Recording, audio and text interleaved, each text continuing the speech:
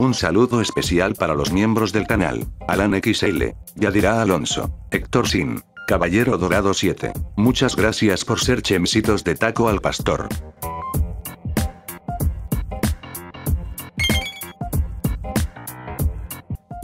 Abro hilo de la vez en que tres señoras con derecho me acusaron de haber secuestrado a mi propio hijo. Como contexto de esta historia, está que yo soy una persona de etnia mixta, por lo que no sé cuál sería la raza con la que debería catalogarme correctamente, pero realmente eso no me importa, pero soy literalmente una combinación caucásica y afroamericana, como mi padre es el caucásico, mi cabello resultó ser oscuro pero lacio, y por lo que yo soy originario de Texas, mucha gente me ha confundido con ser mexicano.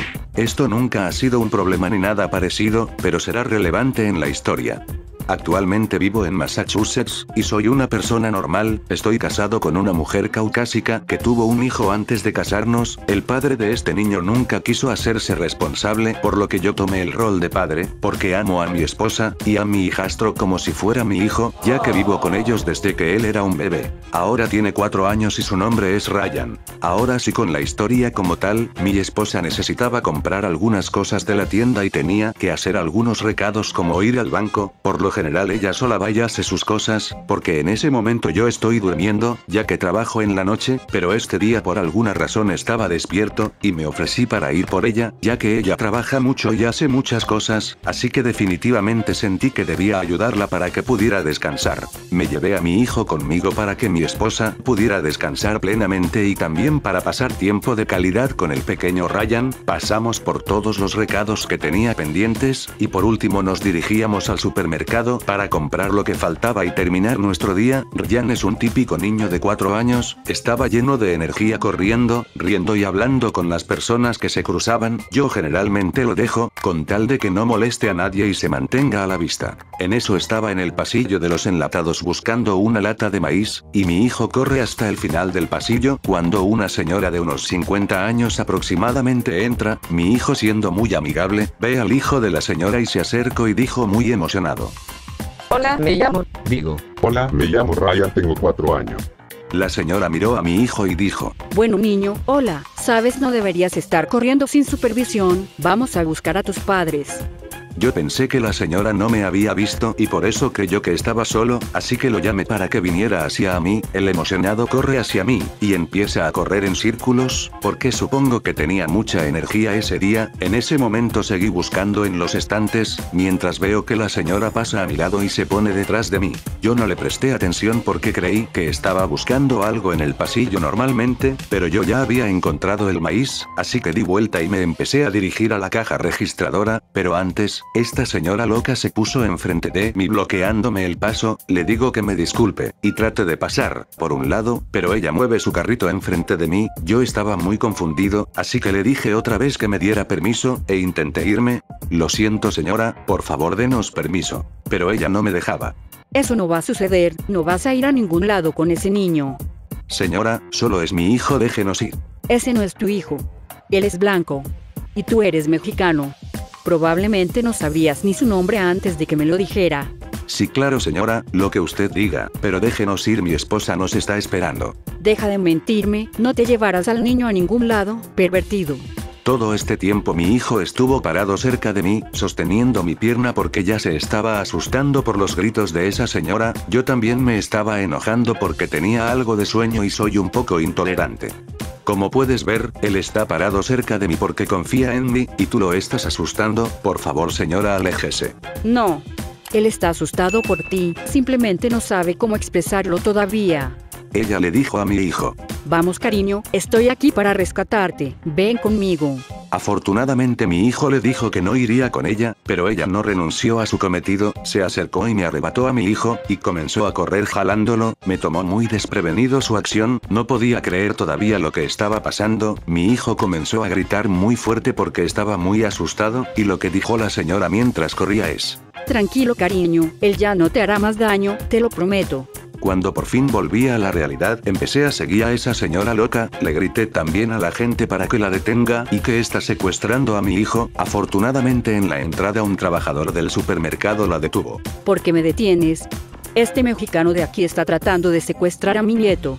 Mi hijo se asusta por lo que dijo la señora, y extiende los brazos para llamarme, esta señora se negaba a entregar a mi hijo incluso después de que él le pegara para que lo soltara. En ese momento apareció rápidamente un gerente y preguntó qué estaba pasando, la señora no dejó que yo hablara y gritó. Ese pervertido está tratando de secuestrar a mi nieto y yo solo estaba tratando de escapar. Ese es mi hijo, señora usted es una psicópata déjelo ir. El gerente no sabía qué creer, yo lo comprendo porque era una situación bastante extraña, así que yo saqué mi teléfono, y le mostré unas fotos mías de mi hijo que databan de años atrás como una prueba de que esa señora estaba mintiendo, esa señora loca seguía gritando y diciendo que las imágenes eran falsas, no sé cómo eso podría ser posible pero bueno, en ese momento había otras dos señoras que se pusieron del lado de la madre con derecho y dijeron que yo estaba intentando secuestrar a ese niño, y su razón fue que teníamos un diferente tono de piel y por eso no podíamos ser familia, incluso una señora llamó a la policía, yo me alegré ya que ahí podría mostrar que la madre con derecho estaba mintiendo gracias a las cámaras de seguridad, aún así estaba muy agobiado, así que llamé a mi esposa para ver si podía venir al supermercado para poder solucionar este problema más rápido.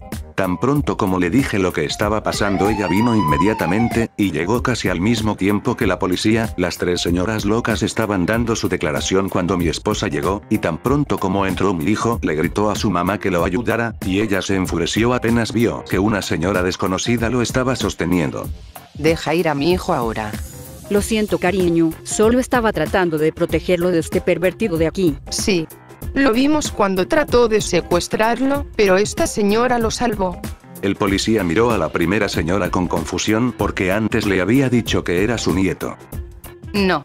Yo no tengo idea de quién es esa señora. Mi esposa sacó su teléfono y le enseñó fotos de nuestra familia como evidencia. Está bien, acepto que no es mi nieto, pero solo estaba tratando de protegerlo de ese sucio pervertido. Sí, yo también lo vi, él necesita ser arrestado, y tú deberías estar agradecida de que esta señora de aquí estuviera para salvar a su hijo de ese señor, porque obviamente usted lo dejó por donde sea. Esto lo dijo señalando a mi esposa. Espera de quién están hablando. En ese momento las tres señoras locas me señalaron.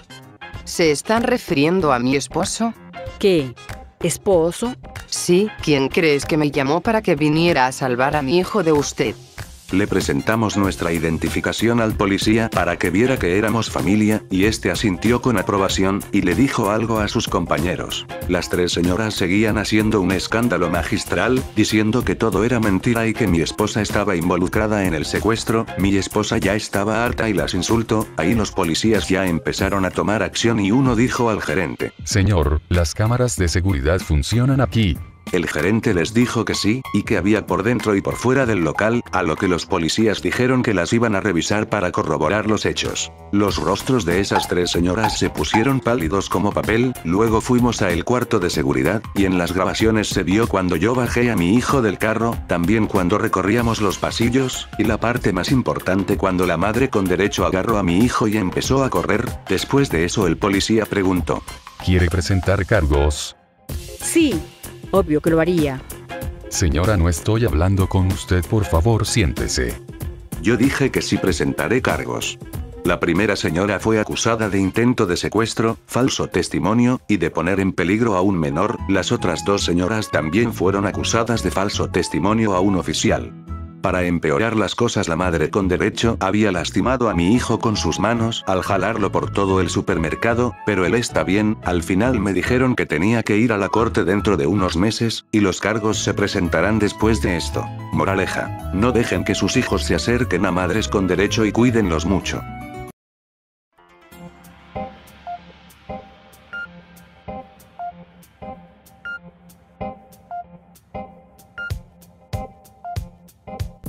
Abro hilo de la vez en que una madre con derecho quería tener pizzas gratis, pero terminó vetada. XD. Yo soy la gerente de una gran cadena de pizzerías y aunque cobramos un poco más que la competencia, hacemos un producto que vale su precio. Siempre tratamos de creer en el cliente y darle la razón para hacerlo feliz si algo anda mal. Esto ha hecho que tengamos muchos clientes fieles que hacen muchos pedidos con frecuencia y también recibimos pedidos de otras personas y de varios hoteles cercanos. Ahora sí, con la historia, era viernes en la noche. y alguien llamó para hacer una orden, era normal solo una pizza con jalapeño, el repartidor fue y lo entregó. Luego de 30 minutos, me llaman para que hable con un cliente enojado. Paso al teléfono y esta señora dice, Este es el gerente. He estado esperando por el gerente durante media hora. era imposible que haya estado esperando 30 minutos, pero bueno, yo dije, lo siento señora, pero ¿cuál es su problema? Estoy en el hotel y su repartidor fue muy grosero. Además mi pizza está quemada. Oh, lamento escuchar que la pizza no estaba a la altura de nuestros estándares de calidad, pero puedo preparar otra y mandársela.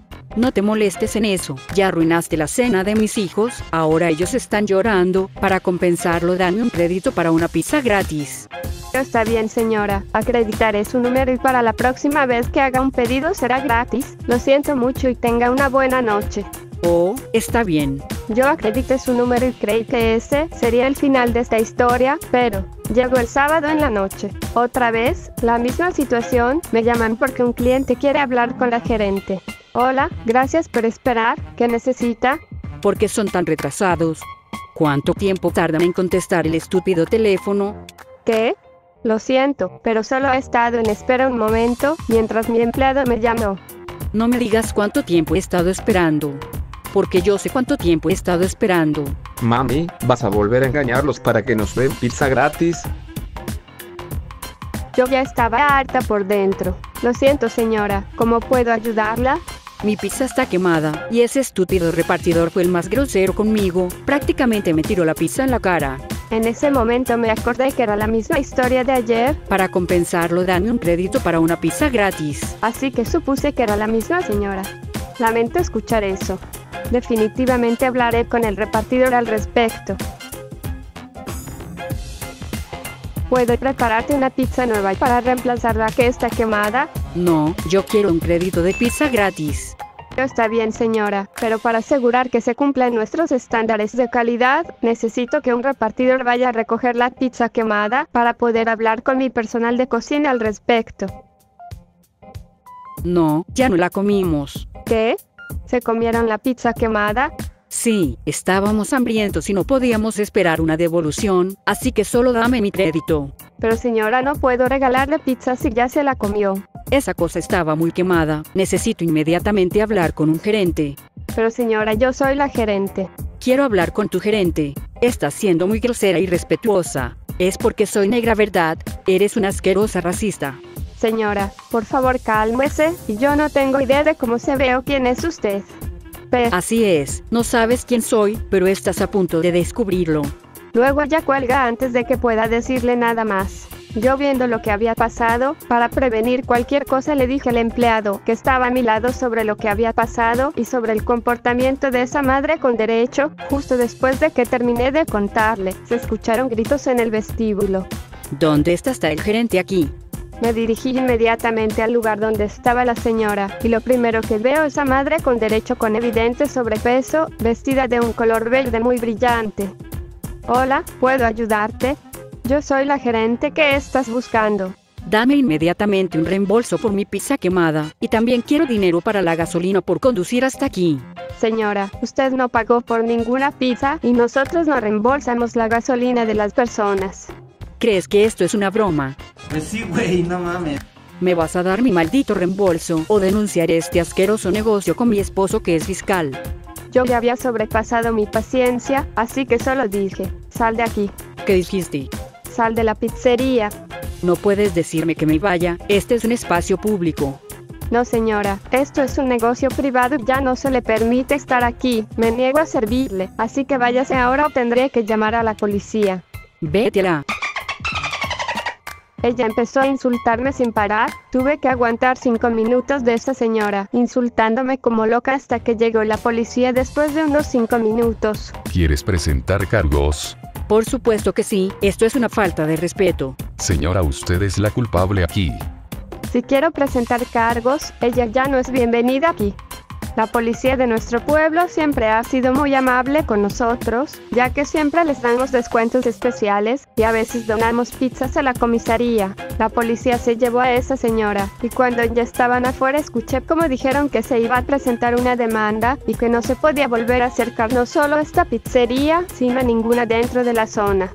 justo antes de que se montara en su auto pude ver su mirada derrotada. Y desde ese día esa señora no ha vuelto por aquí. Bueno, no es el mejor final de todos, pero es lo que hay. Moraleja. No les den pizzas gratis a madres con derecho.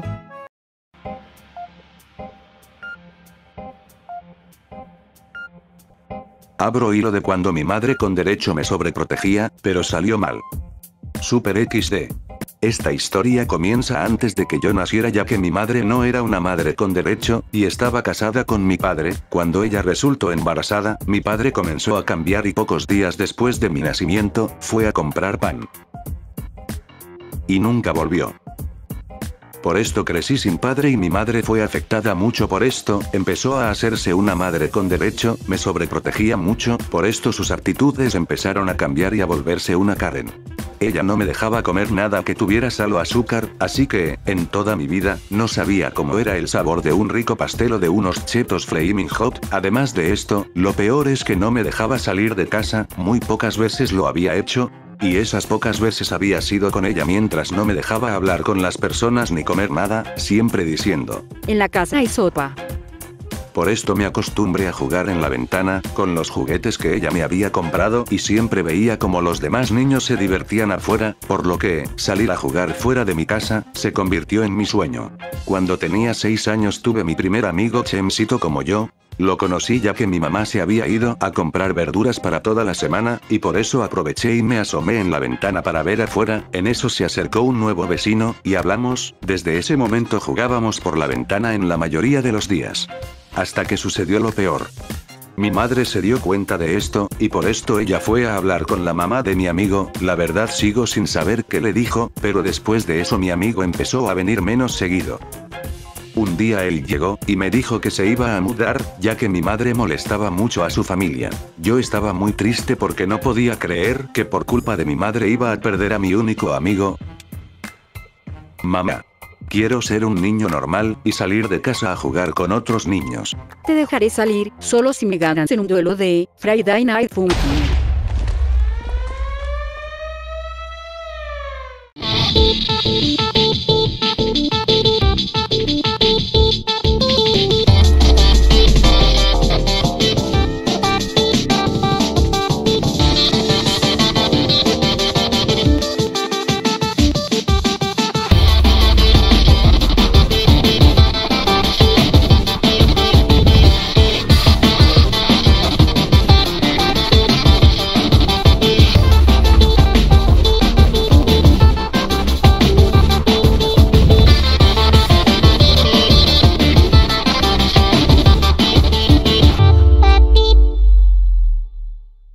XD, en realidad esto no pasó, solo que por esto me enojé mucho con mi mamá, tanto así que pensé en escaparme de la casa.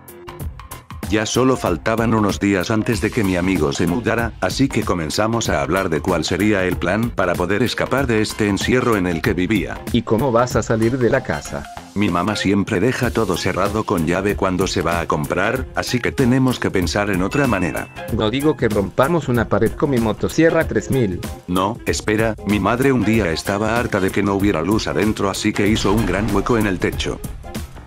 Pero no es muy peligroso. Todo sea por salir de aquí. Está bien, no traeré una escalera. Y así sucedió, preparé todo y empecé con el plan,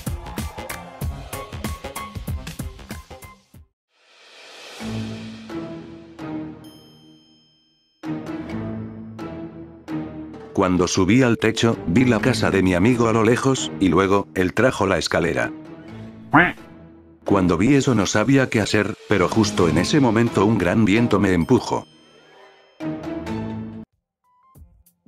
Ahora que estaba afuera, me sentí muy nervioso, pero enseguida corrí hacia la casa de mi amigo, en ese momento sus padres no estaban, solo su hermano mayor, que estaba jugando videojuegos, al otro lado en una mesa, había muchas golosinas, mi amigo lo había preparado para que yo los probara por primera vez, yo tenía mucho miedo, pero decidí probarlos porque no aguantaba más con las ganas, ya que toda mi vida estuve retraído, así que empecé a comerlos uno por uno, y estaba impresionado por la bomba de sabores que estaba experimentando, Luego ya me había comido muchísimos dulces, pero escuché a mi mamá gritar en la entrada de la casa, el hermano de mi amigo fue a atender la puerta.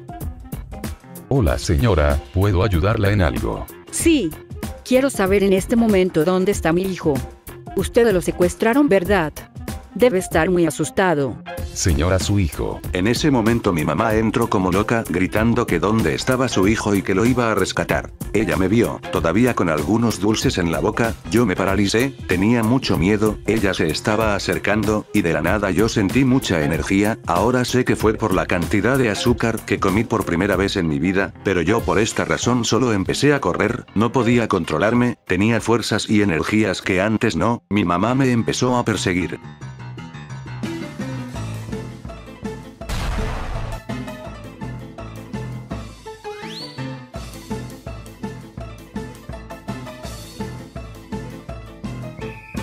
Después de todo, la persecución terminó afuera de la casa, mi mamá me alcanzó, pero en ese momento me desmayé, mi amigo me contó que estuve desmayado durante unos 15 minutos, y todos se preocuparon por mí, y después de ese tiempo por fin me desperté. Mi madre me abrazó, me dijo que estaba muy mal lo que hice, y luego ella quiso llevarme de nuevo a nuestra casa, pero yo, recordando todo lo que viví ese día, agarré valor y dije, mamá, Hijo, ven conmigo y ya verá lo que hay en casa. Pero mamá esto no puede seguir así. Si no puedo salir de casa, conocer a otros niños, jugar con ellos en el parque o comer algo que tú no hayas preparado, ¿cómo voy a disfrutar mi infancia? Pero, Tú te preocupas mucho por mí y quieres darme todo sin importar qué, pero si sigues haciendo todo eso no podré vivir una niñez feliz.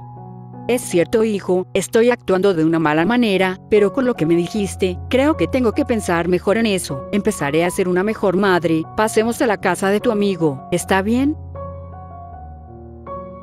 Dos horas después.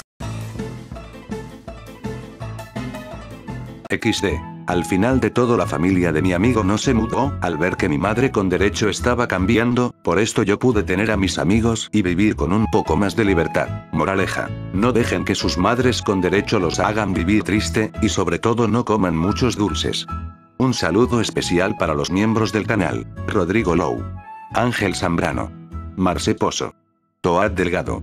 Muchas gracias por ser chemsitos de pizza. Un saludo para Griselda Tobar. Nes27XD. El jugador nuevo. Juan Martínez París Ignacio. Geal Pasak. Planeta Oleg.